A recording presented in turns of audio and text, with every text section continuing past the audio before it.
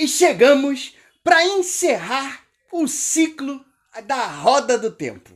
A série Sucesso da Prime trouxe muitas revelações nos dois últimos episódios que foram de tirar o fôlego.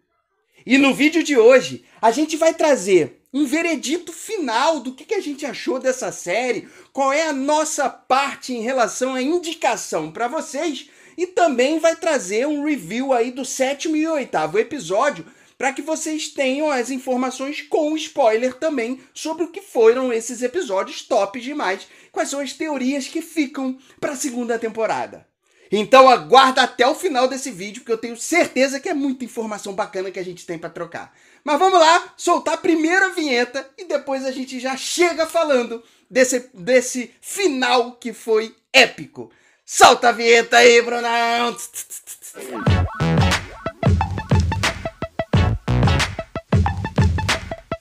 Fala, meus amigos do canal Séries em Série! Eu sou o Vinícius Saboia e hoje a gente chega para fechar as, todas as análises em relação a essa primeira temporada de A Roda do Tempo.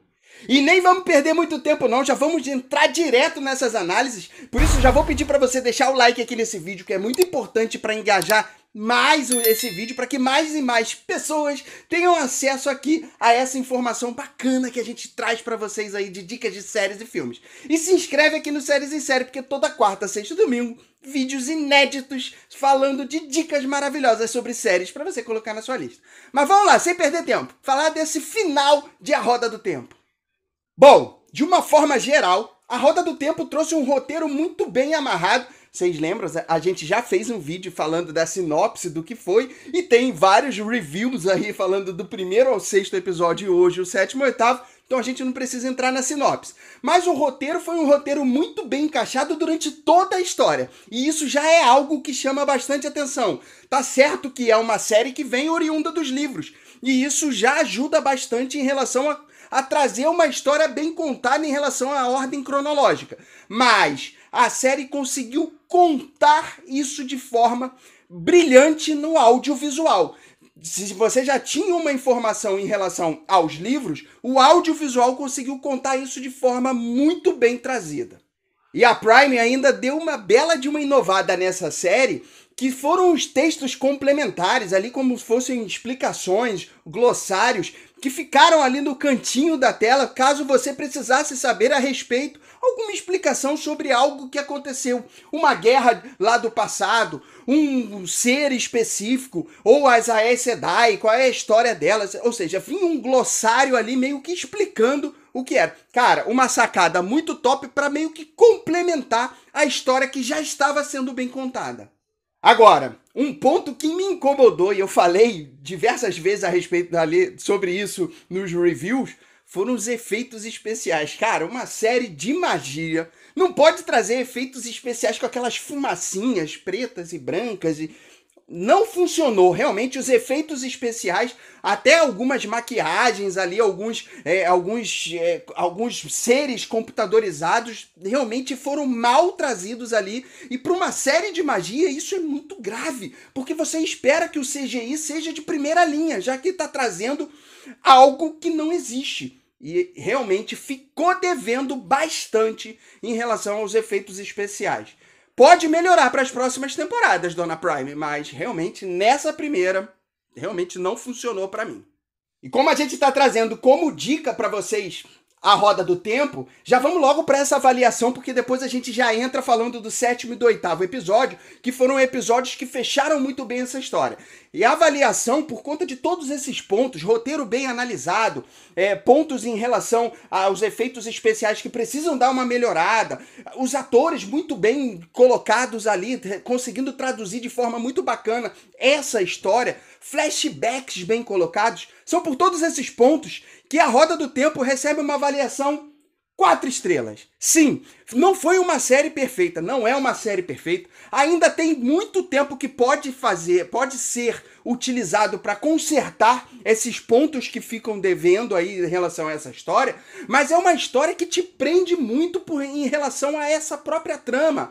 A, a, tudo que acontece ali, você tá ali torcendo, querendo saber através do mistério de quem é o dragão renascido querendo entender um pouco mais sobre isso, é, torcendo inclusive. É, a Prime acertou bastante em trazer um episódio por semana, porque você ficava naquela expectativa do que ia acontecer. Ou seja, uma série que você vai gostar muito de assistir, uma série que merece total estar na sua, na sua lista e que pode sim ser comparadas a séries maravilhosas que tivemos aí. Claro que precisaremos esperar o decorrer dessa história para saber se ela vai se manter dentro de ser uma série de primeira linha. Bom, agora a gente vai falar do sétimo e do oitavo episódio, para a gente fechar todos esses reviews aí em relação à série A Roda do Tempo. Lembrando que a partir deste ponto contém spoiler. Então, se você não assistiu ainda esses episódios ou algum desses episódios, dá um pause aqui, vai lá assistir e depois você volta pra gente trocar bastante mensagem. Se você ainda não assistiu, já sai escrevendo o que, que você tem de percepção em relação à roda do tempo, o que, que você gostou ou não gostou, pra gente já ir trocando aqui pra ficarem, inclusive, algumas teorias do que vai rolar pra segunda temporada. Se você já leu o livro, inclusive, você já tem informações bem avançadas do que vai acontecer. Mas vamos lá falar um pouquinho mais do sétimo episódio. O sétimo episódio segue ainda aquela saga de Moraine em levar os jovens em, a, ali em direção ao olho do mundo. Na verdade, agora quatro jovens, já que o Matt declinou, fugiu um pouco em relação a essa responsabilidade de ter que ir até o olho do mundo. Então ela segue com esses quatro jovens, inclusive seguindo alguns perigos em relação a esse caminho que eles acabam seguindo. Sendo que o perigo se torna tão grande que eles acabam sendo atacados por um Trolloc e aí ele, alguém consegue canalizar dentro desse é, ali do caminho e eles não sabem quem é. Mais pra frente a gente acaba entendendo que foi o, Re, o Rand que fez essa. que acabou canalizando, mesmo todo mundo achando que não tinha sido ele. Mas é, mais pra frente essa história acaba sendo um pouco explicada do porquê que ele canalizou naquele momento de perigo que eles estavam ali. Mas acontece que eles conseguem fugir e saem próximo de uma outra cidadezinha que, que é meio do caminho em relação ao olho do mundo, que eles estão chegando no local onde aconteceu a praga.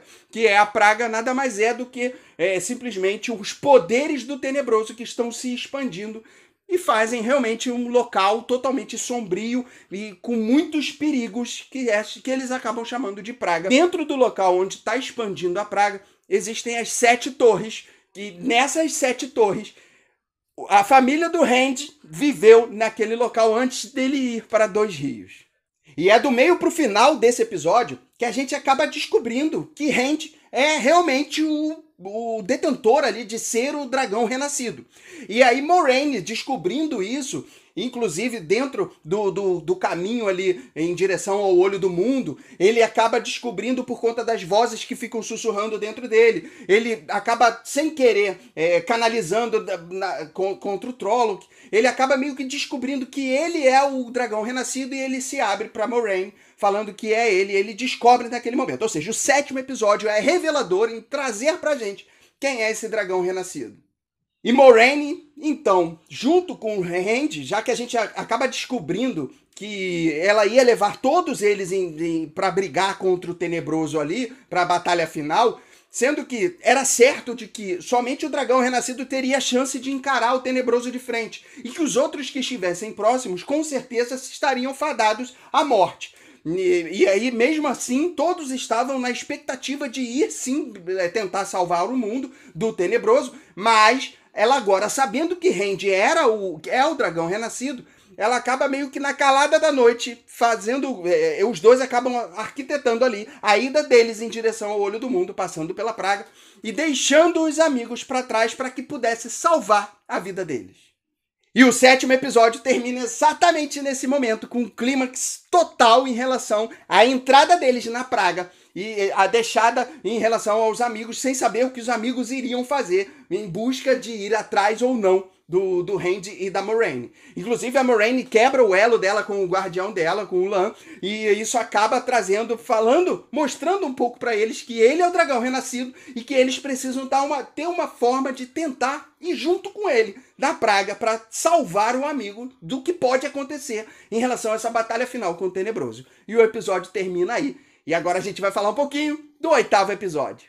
O oitavo episódio começa com Randy e Moraine dentro da praga. E com o Randy é, entendendo um pouquinho mais ali do que é o, o poder, o poder único, como que ele faz para canalizar, e a Moraine dizendo para ele que no momento de perigo, ele vai trazer essa canalização, vai, isso vai acontecer normalmente, é, ele explica um pouquinho da história dela, de, da primeira vez que ela canalizou. Mas a gente sabe que os homens, quando canalizam, eles acabam ficando próximos da loucura. Um pouquinho mais em relação à loucura. Então, canalizar para o Randy pode ser até perigoso em relação à vida dele. Isso tudo ele acaba aprendendo um pouquinho mais nesse caminho, em alguns sonhos, alguns vislumbres que ele tem, até com o próprio Tenebroso, porque ele descobrindo que ele é o dragão renascido, algumas visões de vidas anteriores do dragão renascido começam a aparecer para ele também em relação a esse sonho. E numa delas, o tenebroso acaba aparecendo para ele nesse sonho e meio que é, voltando a conversar. Pô, tô voltando a conversar com você. E você chama ele pelo nome do dragão renascido lá do passado. E a gente vê aí que existiu realmente aquela briga lá do passado e que ficou aquilo guardado dentro do tenebroso, que quer se vingar a qualquer custo do Randy. E numa dessas visões, o tenebroso acaba sendo totalmente articulado ali, articuloso em relação ao Rand. Ele entra nessas visões dele ali e faz com que o Rand tenha uma visão de que, como se ele tivesse em família com a Egwin e com uma possível futura filha dele ali dentro de uma família feliz. E o, o Tenebroso tenta chamar o Randy para essa responsabilidade, falando: olha, é essa sua vida que vai acontecer no futuro. Ou seja, meio que tentando levar o Randy para que ele canalizasse o poder obscuro, o poder das trevas. Mas Randy acaba numa reviravolta, entendendo, mesmo estando inconsciente ali, entendendo que qual é a situação dele, o perigo dele, e ele meio que canaliza o poder da luz e nesse momento ele vem o embate final com o dragão renascido e ele acaba matando o dragão renascido. Achei um pouco rápido demais essa batalha final e a forma como ele acaba matando o dragão renascido, ou na verdade acaba é, é, atingindo o dragão renascido, que a gente, o, o, perdão, o tenebroso, e a gente não sabe como que vai, que, como que vai se finalizar em relação a essa morte ou não morte dele, porque isso fica ainda é, em aberto, não tem essa informação, mas que nessa batalha o Randy acaba ganhando, finalizando ali o Tenebroso em relação a todos os poderes. E mesmo assim, Moraine, com todos os perigos que está ali, acaba sobrevivendo. Nesse momento, os amigos que ficaram lá na cidade estavam sendo é, atacados por Trollocs que estavam tentando entrar ali na, na cidade, até por, por conta do, do ataque do Tenebroso, a expansão da praga, a expansão dos poderes. E, eles não sabiam o que estava acontecendo ali na briga final entre o Rand e o, o, Tenebroso, entre o Dragão Renascido e o Tenebroso. Então, eles imaginavam que o Tenebroso estaria ganhando, já que os Trollocs estavam conseguindo invadir a cidade. E aí as Aes Sedai ali, junto com a Egwene e com a, a Nynaeve, elas conseguem canalizar um poder muito forte, um poder até então não visto, que conseguiu atacar os Trollocs e matar todos os Trollocs. Só que esse poder tem consequências muito sérias. E eles acabam sendo tão forte que acaba queimando as, as Aes Sedai ali. E Egwin, é, perdão, e Nynaeve acaba meio que se sacrificando para não deixar que Egwin morresse. E ela meio que vai enxerga a morte de perto ali. Só que Egwin também, aprendendo a canalizar os seus poderes, consegue salvar a amiga. Ah, um ponto importante que fiquei devendo aqui, que também acontece nesse momento da invasão Trolloc, é que Perrin está dentro da cidade, junto com o Loyal e com alguns guerreiros que estão defendendo aquela cidade, quando é, Padan Fen acaba entrando dentro da, da cidade ali, Todo mundo achava que ele era somente um, um mercador que a, a, acompanhava ali em Dois Rios e que estava em algumas cidades ali vendendo seus produtos, quando na verdade ele é um verdadeiro vilão dessa história, que já tinha é, sucumbido aos poderes das trevas e isso acabou fazendo com que ele, é, é dentro dessa invasão, acaba matando alguns desses defensores, inclusive matando Loyal que faz com que a gente sinta bastante em relação a essa morte. Claro que naquele momento ele não mata o Perrin, porque é exatamente aí que é o gancho para essa terceira temporada, que a gente tem um novo vilão, E tem, inclusive, a, a, a revelação de que os, os amigos não são somente possíveis é, dragões renascidos. Não eram somente possíveis dragões renascidos. Eles eram também, é, eles são muito importantes para esse poder nessa história. E por isso que eles têm esse poder único, inclusive com alguns poderes que são mais fortes do que eles pensam. Então, eles também são uma chave em relação a derrotar o poder único. E por esse motivo, o vilão ali acaba não, não tendo esse embate de imediato com Perry. Então, para a segunda temporada, muitos dos poderes dos amigos ainda vão ser revelados, porque eles serão muito importantes ainda dentro dessa história. Então não é somente o dragão renascido que é o grande é, herói ou importante nessa história. Os outros amigos também estão nessa retaguarda. Sendo que esses quatro amigos ainda terão que meio que escolher para qual lado o poder deles vai ser canalizado. Eles meio que vão ficar ali entre o poder das trevas e o poder da luz, aonde eles também vão ter que seguir por um desses, por um lado específico. É claro que a gente já sabe que os três dos quatro amigos, tirando o dragão renascido, que já foi declarado dragão renascido, mas os outros três, que é a Egwene, o, o Perry e a Nynaeve, já meio que escolheram o lado da luz, enquanto Matt ainda tá no caminho das trevas e eles deixam isso bem claro de que nessa escolha algumas pessoas ainda poderão sucumbir ao poder do mal. E aí o episódio termina, a temporada termina exatamente com o Randy pedindo para Moraine que não diga que ele está vivo, que ele teria morrido nessa batalha final e ele vai em direção ao desconhecido. É, e sem saber, inclusive, para onde ele vai, ou a própria Moraine sem é, ter noção do que vai acontecer dali para frente. Até porque ela não pode mentir. Mas ela acaba dizendo que ele se foi. E ela não mente, mas também dá a entender que ele está morto. Mas por qual motivo que Randy acaba fazendo isso?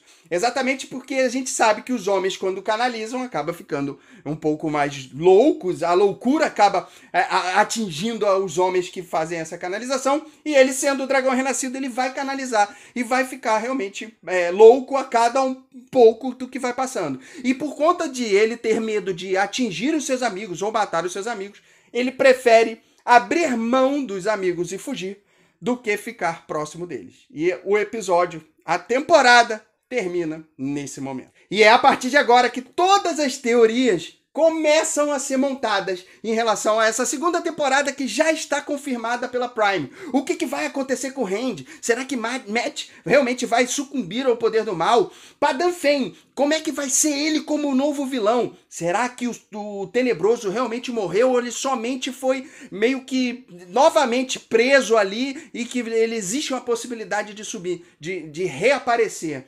E eu vou te falar que Logan o que aconteceu com ele? Será que realmente não volta mais nessa história? O trono de Amerlin, será que vai cair? Porque numa das visões mostra ali que o trono de Amerlin pode cair. Ou seja, muitas histórias estão em aberto ainda para essa segunda temporada. Claro que a história está muito bem concatenada, fecha bem esse ciclo, mas muitas pontas soltas deixam essa história ainda em aberto para essa segunda temporada que vai vir.